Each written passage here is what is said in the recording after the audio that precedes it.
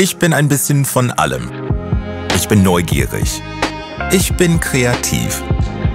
Ich gehe mit offenen Augen durch das Leben. Ich bin es gewohnt, jemand zu sein, der anders ist. Manche Menschen finden das, was ich tue, ungewöhnlich. Interior Design ist kein Job für mich. Es ist meine Leidenschaft. Ich benutze Dinge, um Geschichten zu erzählen. Ich koche unglaublich gerne und ich kann Stunden in der Küche verbringen.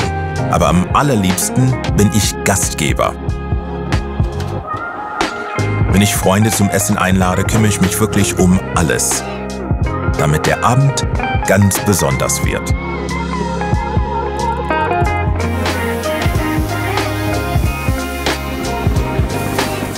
Die Liebe zum Detail macht dabei immer den großen Unterschied.